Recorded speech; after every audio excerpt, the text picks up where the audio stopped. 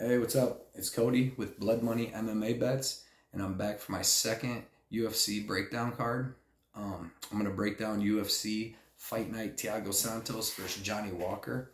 We're going to recap last week's UFC, UFC 266, go over the predictions and bets for that, and then um, we're going to get right into this UFC. So last week, UFC 266, my predictions, I went 9 and 3. Um, I went 3 and 1 with my bets and uh, one bet, the bet that I lost, the guy got exposed. I was hoping that wasn't going to happen. It did. Said last week in the video there was a chance it could happen, and it did. So uh, the bets that I won last week were Alexander Volkanovski. I put 3.2 units to win two units on him. Um, I thought that was a lock, and it was. It was a great fight. He beat him down the whole fight except that round three had me so nervous. I mean, that guillotine and the triangle were so tight that I, I, I thought it was done. I got off the couch, walked away, thought it was done, and he toughed it out. Uh, Volkanovski, he's so tough, so tough. Uh, he's going to be champ for a long time, I think. Um, second fight, second bet I had was Taila Santos and Jessica Andrade. I had three units to win 2.1 units on them. Um, that was a fairly easy win. Taila Santos beat down Roxanne Modafferi the whole fight, all three rounds. Um, Jessica Andrade, she put a beating on Cynthia Calvillo, KO'd her in the first round, which was awesome. Uh, KO'd her with one second left before Herb Dean stepped in. And uh, the third the third bet I had was another two fight parlay, which was Matt Semelsberger and Chris Daukaus and that that was pretty easy money too. Semelsberger obviously won first first first uh, punch he connected to the face, put put uh, uh, Nick Diaz's boy down. I can't even remember his Martin Sano. Put him down in the first round, first punch, so that was easy. And then Chris Daukaus, that was a little bit worrisome. I mean, he was getting countered a little bit in that first round until he landed that huge shot that uh, sent Shamil down. I thought it was over in the first round. I, I thought he was out cold. He somehow came back to, uh, took a beating until the end of the bell of the first round. Second round came out. Um, Daukaus did, the, excuse me, Daukaus did the same thing. Um, hit him with some big shots, knocked him out like two more times. Finally got the finish. That rounded out that last uh, parlay I had, and uh, that was three units to win 2.4 and the loss was Uros Medic. And man, I should have seen that coming. I even warned at the end of my last video that he could gas out and get exposed because I mean, he's fighting out of Alaska FC and Jalin Turner's proven in the UFC and he did exactly what he was supposed to do. I mean, he tore Uros Medic up. Um, I feel I feel dumb for that bet, but hey, we live and we learn. We'll figure it out. Uh, we'll know for his next fight. So that was the recap. I, I, I profited 4.7 units, which is pretty good. Um, like I said, the smallest bet I had was Uros Medic, and that one didn't pay off. So um, we're going to get into this week's card. It is uh, UFC Fight Night Santos versus Walker. It's going to be a good, some good fights. That last fight is definitely going to be uh, fireworks.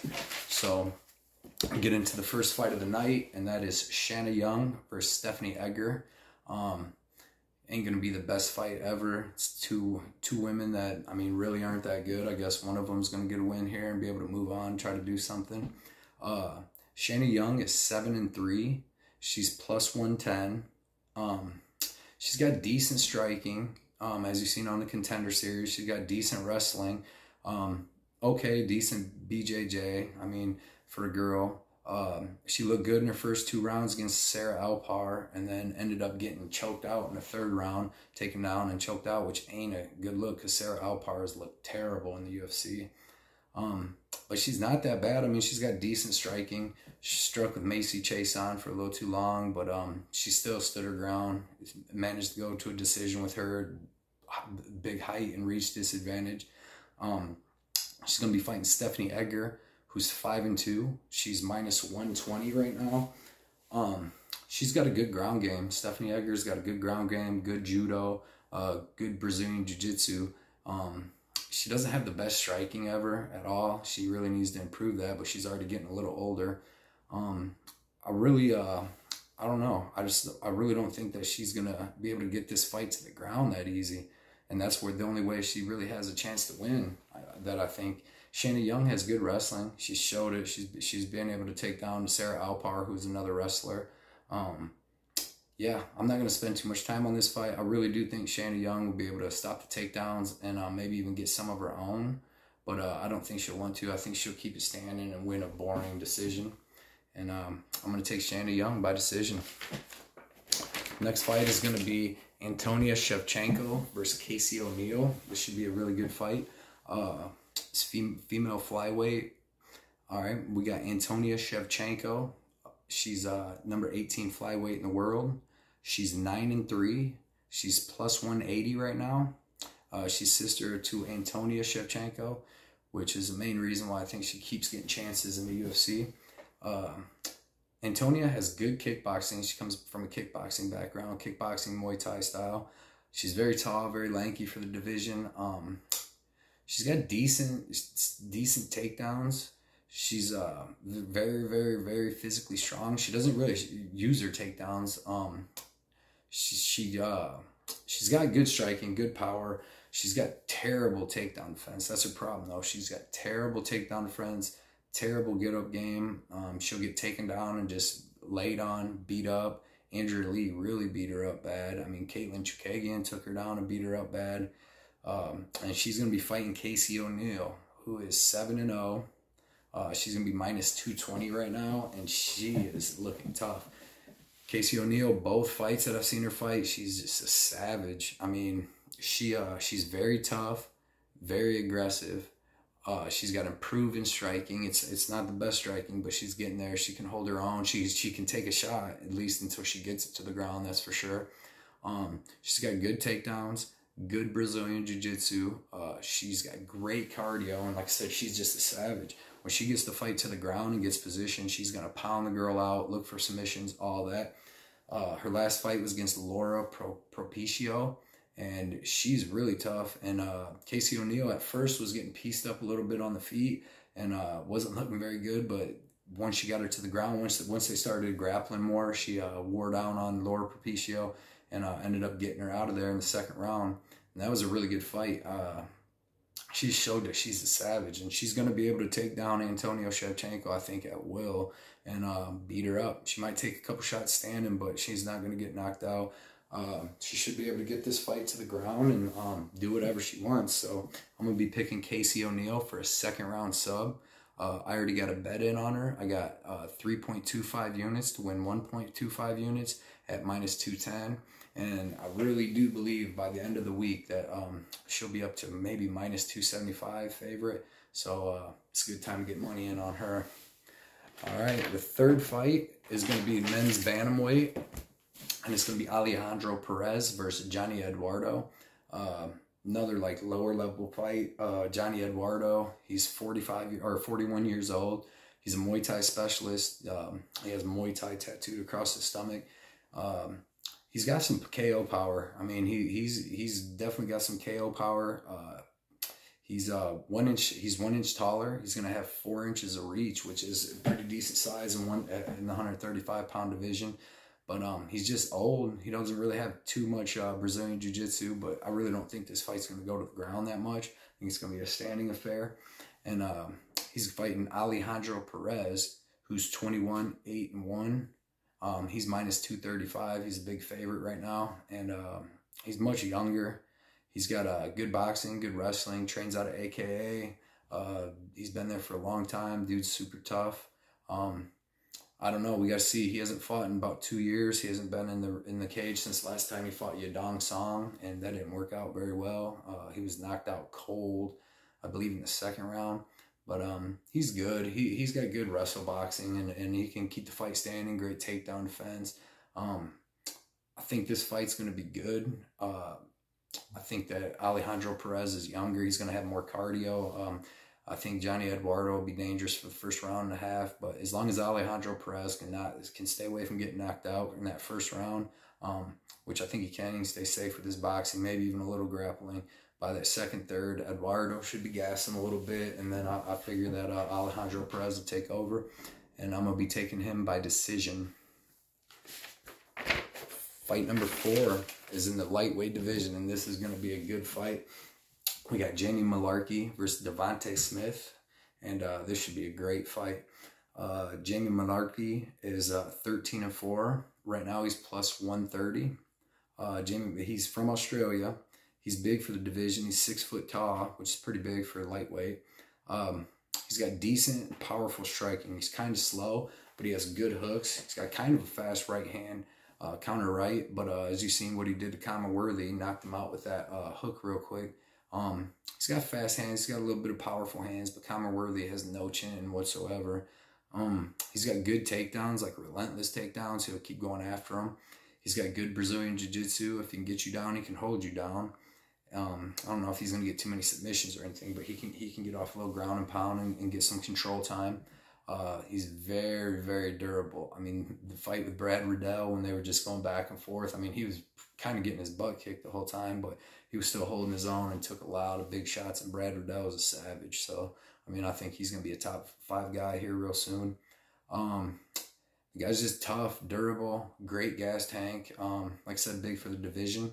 He's going to be fighting Devonta Smith, who's 11 and 2. Right now, he's minus 150. Um, super fast. The guy's super fast, has super good uh, striking, powerful striking, good knockout power. Um, he's got decent takedowns, decent takedown defense. Um, he uh, he's going to need that in this fight because he's going to have to keep this standing and uh, hopefully be able to land big shots on Mullarkey. Um, Mullarkey's going to try to wrestle him, wrestle him, wrestle him, and I think he's going to be able to get some takedowns. But I think Devonta Smith's get up game will be good enough um, to get up, not take too much damage, and um, land the quicker, bigger, more powerful strikes. Because Devonta Smith's striking is awesome, good speed, good accuracy, great power. I mean, I could really see him knocking out um, Mullarkey in the first round, but Jamie Mullarkey is just so tough that I think he'll be able to take them shots for a while. Um, could be a finish in the in the second or third, but I just think this is going to be a grinding, tough fight. And if uh, Devonta Smith comes in in shape like he, he should, like he usually does, um, I see him being able to grind out a decision, maybe even possibly getting the finish. But I'm I'm I'm, I'm not going to bet this fight. I just think it's I don't know. It's too it's too much up in the air because if Devonta Smith's takedown game doesn't doesn't hold up, I mean he's going to be in for a long night. Excuse me, because Jamie Mullarkey doesn't uh doesn't stop unless you put him out, and that's hard to do. So yeah, give me Devonta Smith by decision, possible knockout. Next fight, fight number five is going to be in the men's bantamweight division, and it's going to be Douglas Da Silva and Andrade versus Gaetano Pirrello. And uh, Douglas Andrade is 26 and 4. Uh, he's minus 250 right now. And um, he's big, big, beefy little Brazilian guy. I mean, he's short, but he's stocky.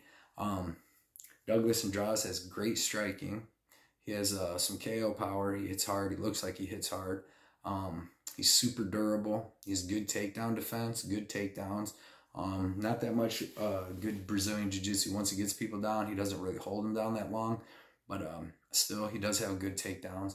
And uh, I think he's going to have good enough takedowns in Jiu-Jitsu for uh, Pirrello. Uh, the guy's 26 and 4. I mean, he's only lost to really like the best people. He's lost to uh, Petr Rob Font. He just fought Lerone Murphy at 145, and Lerone Murphy's a savage. Oh, yeah, this fight's at 135, so he's actually dropping back down to 135. Um, yeah, I think the dude's tough. He's getting a little older. He's 36 years old, but still, I mean, you can tell by the shape he's in. He's he's going to be in shape till he's 65 years old. Um, the guy's just naturally got good good DNA. So he's fighting Gaetano Pirrello, who's 15, 6, and 1. He's currently plus 205 right now. Um, he has good striking, good Muay Thai kickboxing. He's from Belgium. He's actually like kickboxing world champion.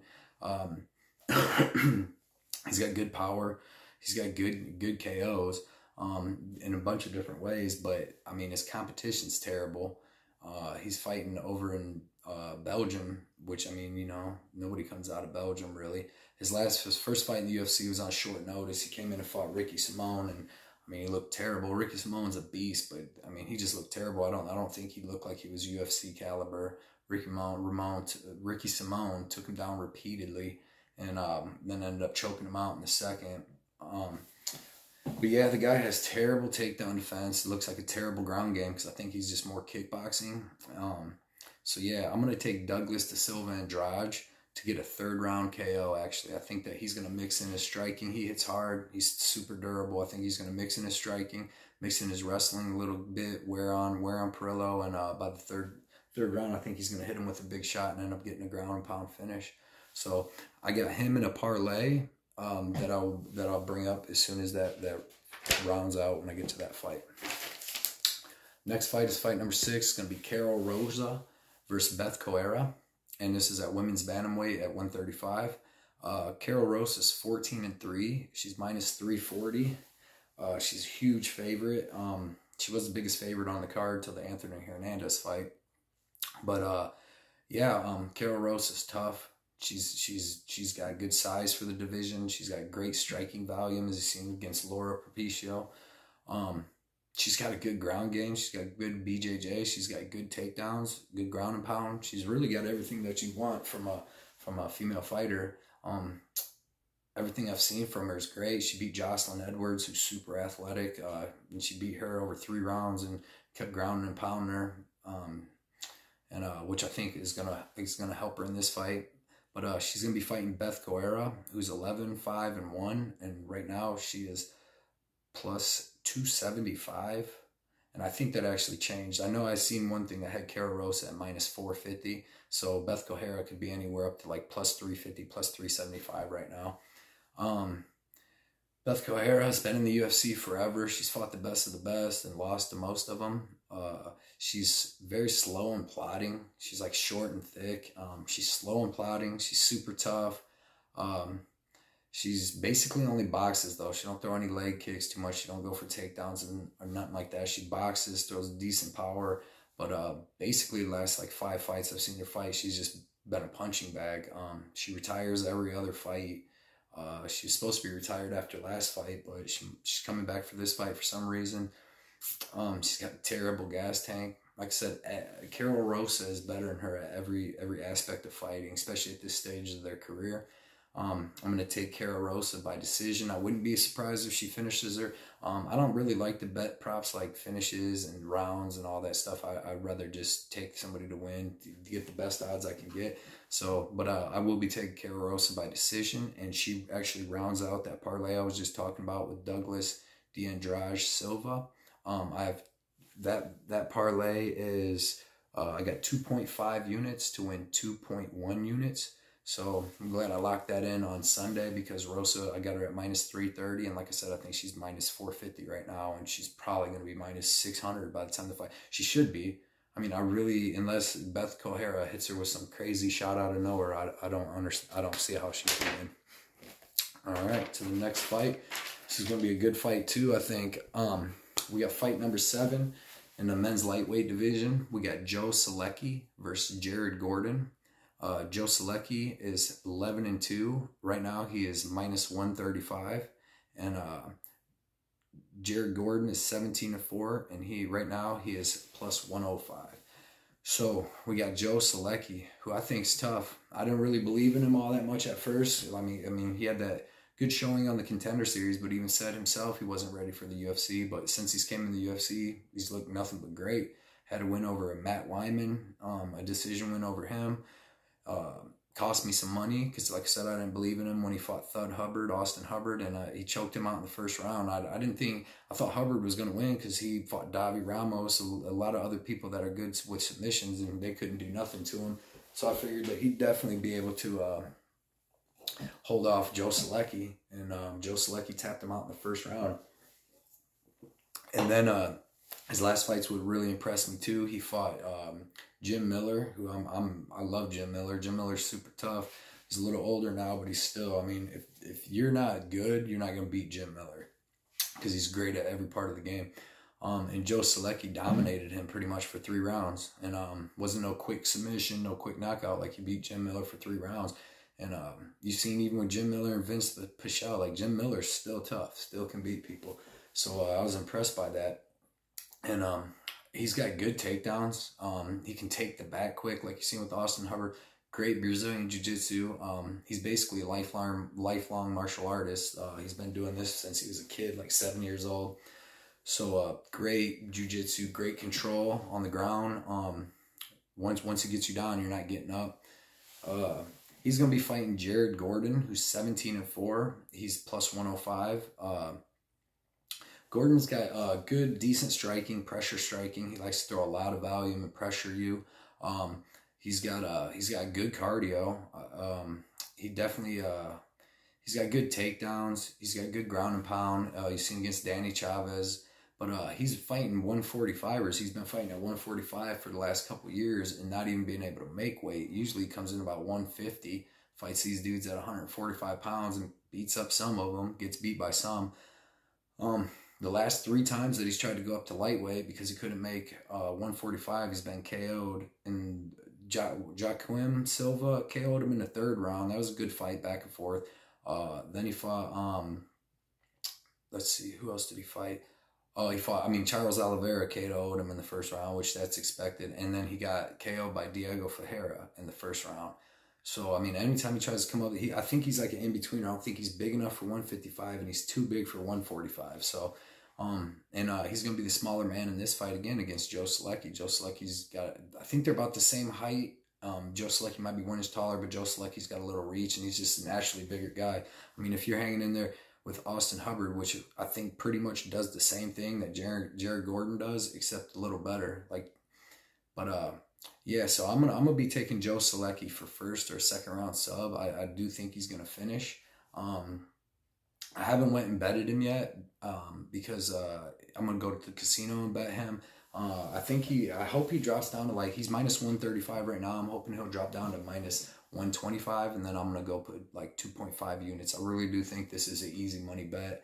Uh, anytime they go to the ground, which is to go to the ground, he's to be a little bigger. Uh, Jared Gordon's to be in trouble. But this is to be a good fight. But like I said, I got Joe Solecki by sub. Next fight is going to be Alexander Hernandez versus Mike Breeden. It was supposed to be Alexander Hernandez versus Leonardo Santos, but Santos had to pull out. Um, this is definitely a nice, uh, way easier fight for for uh, Alexander Hernandez. So uh, we got Alexander Hernandez, who's twelve and four and currently minus five hundred. Um, he's the number twenty lightweight in the world right now, which is pretty good. He's fought great competition. He had when his first fight in the UFC, he had that crazy knockout of Beneil Dariush in like under a minute, but uh, probably like under twenty seconds. Um, he beat Aubin Mercier. He's beaten some good people. He's gotten beat. Um, he's still a young kid. Uh, he's got great striking, good foot movement, good uh, good power. Um, he's very, very, very explosive. Like I said, with the Beneil Dariush fight and some other fights, he's got good KO power. He's got good wrestling, good ground game. Um, when he gets to use it, he's fought in some other decent wrestlers. Uh, tried fought good BJJ guys like Thiago Moises last fight, so he didn't really try to use any any grappling. But he can be super low output at sometimes, like he was against uh, um, well, a lot of the people he's fought really. Um, but uh, yeah, we, he's going to be fighting Mike Breeden, who's ten and three. He's coming in on short notice. Uh, don't know too much about him. I seen he does got some crazy knockouts. He, uh, he has a knockout over Brandon Jenkins, who just fought last week. Um, against uh, Ruzang.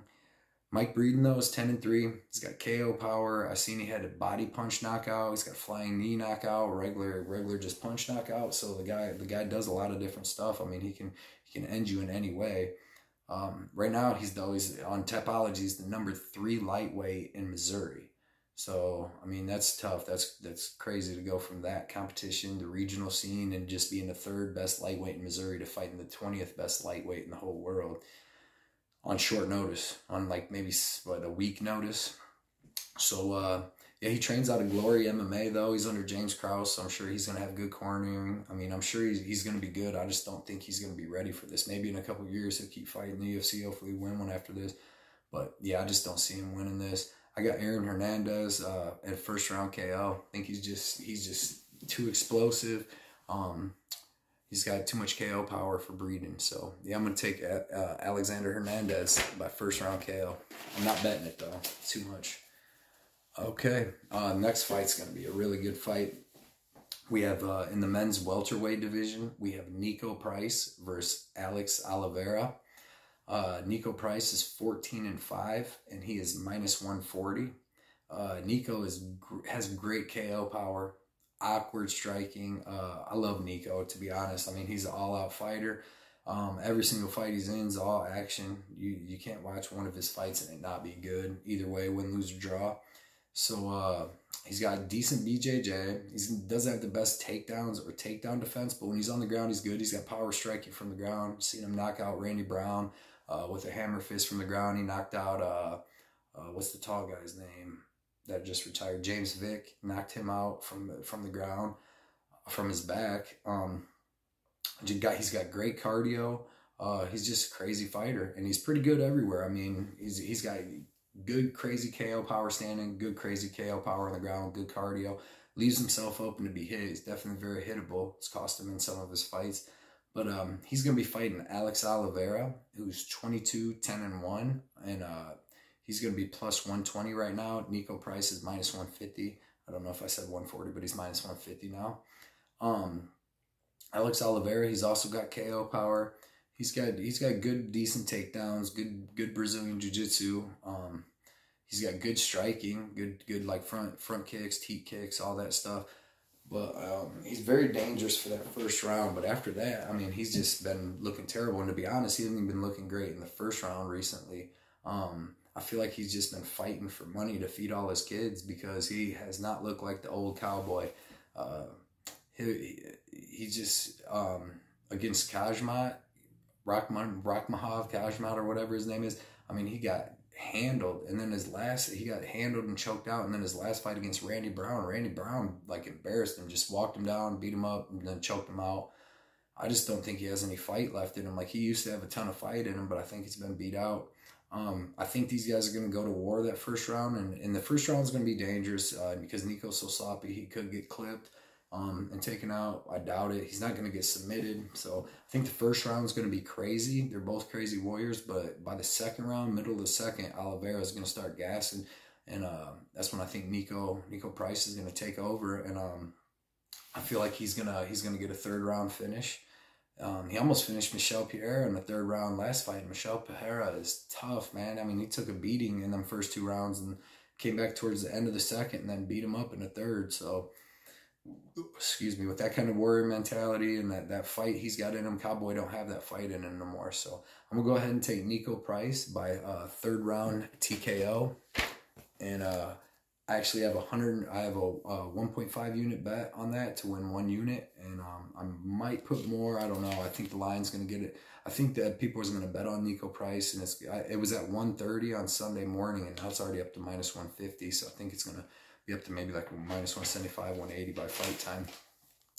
Uh, next fight is going to be a good one. It's in the men's middleweight division, 185. We got Mika Cirkunov versus Krzysztof Jotko. Um, Misha, Misha Cirkunov is 15 and 6, and right now he's plus 130. Uh, Misha Cirkunov is tough. He's coming down from 205. Uh, he had a decent run there. I mean, he just fought a lot of big guys. His last fight was against Ryan Spann, who's six foot five and just a giant dude. So I mean, he's been fighting some big, big guys and great guys. Very, very, uh, very good ranked guys, and he's beaten some of them. I mean, he he, choked out Jimmy Crute. Uh, Misha Cirkunov's got good takedowns. He's got great Brazilian Jiu Jitsu. I mean, he's a black belt, high level, taps out other black belts. Um, he's got good, powerful striking when standing. He, he, uses that a lot to get into get into the clinch, get into grappling, get his takedowns going. And uh, if he can get you to the ground, I mean, especially in that first round, first to the middle of the second round, I mean, he he's definitely can snatch something. He's big. He's he's dropping down to middleweight. This is his first fight at middleweight, and he's big. He's six foot three. So to see him down at middleweight, he, he might be in even better shape and everything, have more cardio than he's used to having. There's one thing, I don't, I don't think Misha Cirkunov has much heart. I've seen him quit a couple times, and uh, I don't like that. But I mean, that's against like big, crazy fighters. Like I said, maybe like against like Ryan Spann and uh, Glover Teixeira. Just a lot of good fighters that, um, I mean, they would spark off Christoph, Krzysztof Jotko. So, uh, He's like I said, he's going to be bigger at six three, and um, he's fighting Krzysztof Jotko, who's twenty two and five, and right now he's minus one sixty. Uh, Krzysztof Jotko, he's got good striking, a good footwork. Um, he's got great, good, great takedown defense. Um, I mean, I haven't seen him get taken down too much. Definitely not taken down, controlled, all that. But uh, he hasn't fought the highest level of competition either. Um, he's got good, great cardio. Uh, he doesn't have much power though. He's like a decision machine. He's got decent wins over like Eric Anders. Um, but uh, I, I, he got beat up by Sean Sean Strickland, but he's a beast. He's he's gonna be beating up a lot of people. Um, I like Krzysztof Jotko. He's boring. He's safe though. I mean, he's good. Uh, but in this fight right here, he's the favorite, and I just I I, I just got to bet on Chris, uh, Mishov Cirkunov. I really think Mishov Misha Cirkunov coming in, being the bigger guy.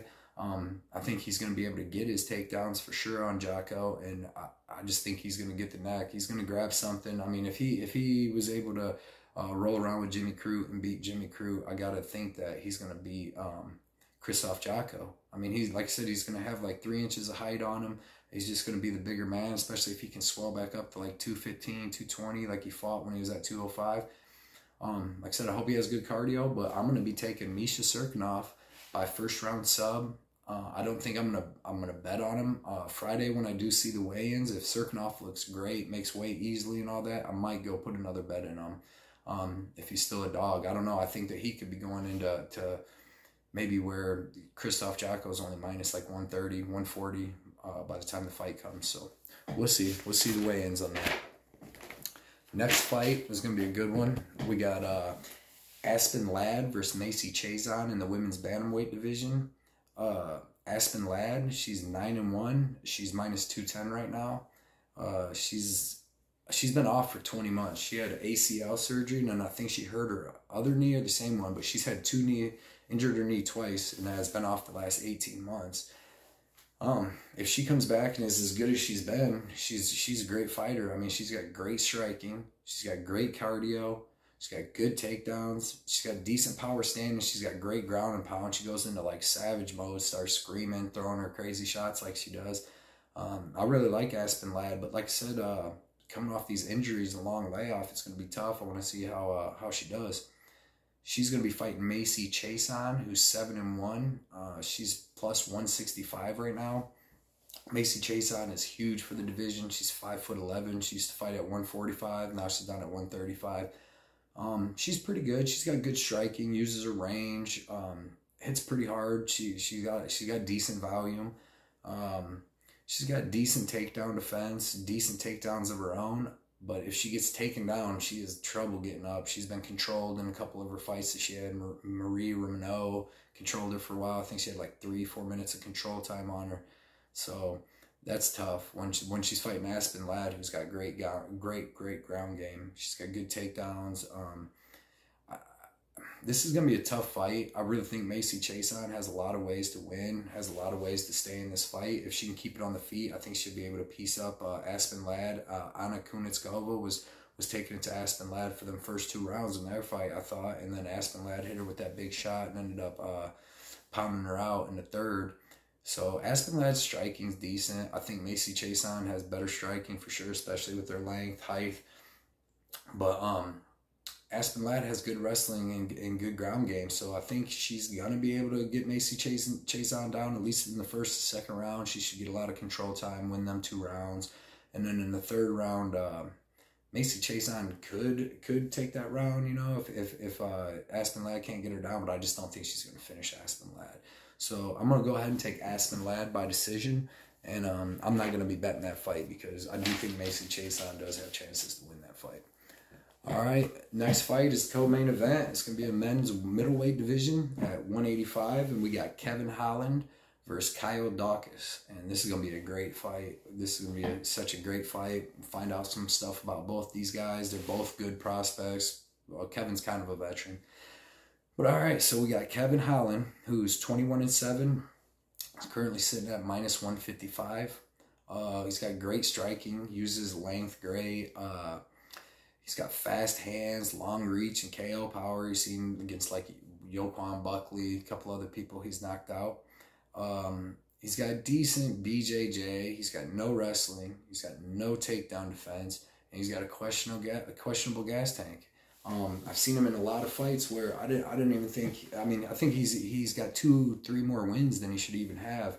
Uh, against uh, was it Darren Stewart? Darren Stewart won that fight, did way more damage, had way more control time. Um, I thought Darren Stewart won that fight, and if you want to go all the way back to maybe what like four years ago with Gerard Meerschaert, three four years ago, Gerard Meerschaert won that fight too. Actually, I had a bet in on Kevin Holland, and I thought Meerschaert won that fight, and was happy to get that money, but they messed up. The judges messed up on that fight. So Kevin Holland could possibly be nineteen and nine. Um, like I said, terrible takedown defense, terrible get up game, and questionable gas tank. I mean, I've seen him gas out in a couple fights. So he's going to be fighting Kyle Daukaus, who's 10 and 2, younger brother of uh, Chris Daukaus, who just fought last weekend. Uh, so he's 10 and 2. Right now, he's going to be sitting at plus 125. Um, Kyle Daukaus is good, man. He's good everywhere. He's got good striking, he's got good pace and cardio. Uh, he's got great Brazilian Jiu Jitsu. He's got good takedowns. He landed three takedowns on Brandon Allen. Um, that was a great fight. Them guys went life and death for three rounds. Excellent fight. And we see what Brandon Allen did to Kevin Holland, choked him out cold in the second round, which that was a good fight up till then too. But uh, yeah, Kyle Daukaus, though, um, he, he's he got he's good. He's got good takedowns, decent takedowns, good enough I think for uh, Kevin Holland. He's got good stand up enough to not not get sparked. I don't think so. Um, yeah, I think this is going to be a great fight. I think Kevin Holland's going to talk a lot of shit, but in the end, man, I really do think Kyle Daukaus is going to get the decision. He could even get a third round stoppage. I think when uh, Kevin Holland slows down a little bit, as long as he plays it good, gets gets some takedowns, get get wears on Kevin Holland, gets some control time in them first and second round, plays it, keeps it safe, you know, doesn't get knocked out. I don't I don't see why he wouldn't get a third round finish or at least the the, the unanimous decision, because um, anytime he, I mean, he's got like good ground and pound, he's got good reversals. He's a big guy too. Kevin Kevin Holland's usually a lot bigger than these other guys. Taller. He's six three. He's real long. But uh, Kyle Daukaus, I think six two. He's he's tall. He's long. Um, I got Kyle Daukaus winning this. Like I said, uh, third round third round stoppage or uh, decision. I haven't bet this fight either. Uh, I'll go over all my bets that I have so far at the end of this video. And now we're on to the main event. It's gonna be a good fight, man, for as long as it lasts. Uh, we have Thiago Santos versus Johnny Walker, Battle of the Brazilians. Um, 205, they're, they're weighing in men's lightweight division. We got uh, Thiago Santos, number seven light heavyweight in the world. Uh, he's 21 and 9. Uh, he's uh, currently, right now, he's sitting at minus 170. Thiago Santos is tough. Um, he's got great Muay Thai, great powerful striking, great leg kicks, uh, great hooks, great elbows, great knees. He, he's He's uh, very athletic. Well, he used to be when he was a little younger. I mean, when he had both his knees and all that. Um, he's getting old, man. Uh, he just had, he had both of his knees repaired after that Jon Jones fight, and I believe that was about like two, three years ago. And he's thirty five. He's thirty seven now, and um, I just don't think he's the same explosive Thiago Santos that he used to be. I mean, he's still great. You've seen his last fight against Aleksandar Rakic that he's still great, he's still tough. He's gonna fight to the end, but um, yeah, he's just he's just getting old and his body's breaking down and and uh, it's it's wearing out on him. He's gonna be fighting Johnny Walker, who's 18 and five, currently right now sitting at plus 140. Uh, Johnny Walker's uh, a big dude for 205. He's six foot six. Um, dude's very athletic, man. He's crazy athletic. Can do flying knees, uh, spinning elbows, elbows from anywhere. He, he's he's very crazy, very crazy. Um, all of his fights are crazy. If you watch the last fight with Ryan Spann, he got Spann hurt right at the beginning, um, real quick, went in for the kill. He's got kind of bad fight IQ, but uh, went in for the kill, got stung by Ryan Spann, ended up going back and forth, back and forth in a crazy first round. And then right at the end, Ryan Spann goes to shoot in for a takedown against Fence, just like he did against Karl Roberson in the, the contender series. And just hit him with Johnny Walker just hit him with the elbows and put him to sleep. But as we're seeing, Ryan Spann's got a glass jaw. So but uh, yeah, Johnny Walker is going to be younger. He's going to be bigger. Like I said, six foot six, more explosive. Um, this is going to be a great fight. Uh, I got Johnny Walker winning by first round KO. I think he's going to hit him with something big. I think he's going to go back and forth. Because um, a good way to beat Johnny Walker is grappling with him, trying to take some of his energy and explosiveness away. And I just don't see Thiago Santos trying to take him down or grapple him at all, really. I think this is going to be a stand up war. Um, I got, like I said, I got Johnny Walker by first round KO. Now, if it gets this five round fight, so if it gets into that third, fourth round, of course, Walker seems. I don't think he has the best best gas tank in the world, but I don't see how this fight could get to the third or fourth round. Both both these dudes are savages and killers, and um, they both finish and get finished. So, uh, I'd like I said, I like Johnny Walker first round KO. I'm gonna see what the odds look like. Uh, I'm gonna go into the casino and put a bet in on on um him and Joe Solecki, and I'm to put in another parlay. But uh, yeah, that's to wrap up this event. I got Johnny Walker, my first round KO. Um, the bets that I have in as of right now, uh, I have Casey O'Neill, uh, 3.6 units to win 1.55 units. I have Joe, or I have Niko Price, uh, 1.5 units to win one unit. And the parlay I have in so far is Karol Rosa um, and Jessica, or Douglas De Silva Andrade uh, 2.5 units to win 2.1 units. Um, like I said, this is going to be a good card. Uh, thanks for watching my breakdown video again. I hope you guys like it. hope you like and subscribe. Hope we can win money again. And um, I had a good week last week and the week before. Uh, I post all my my uh, bets, uh, all my tickets on Instagram, uh, Blood Money MMA bets there too. So if you want to go check that out. But uh, thanks for watching again, and um, I'll be back next week and uh, do another great video. Let's win some money. Let's beat the bookies. Thanks, guys. Later.